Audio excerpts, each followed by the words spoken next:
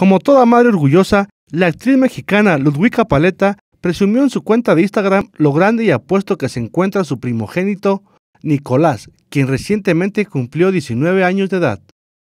La actriz, quien últimamente se ha vuelto más afectada en compartir imágenes familiares, acompañó la fotografía con un sencillo mensaje, El amor de mi vida, acompañado de un emoticón de corazón. La imagen de inmediato recibió el cariño de los seguidores de la talentosa actriz.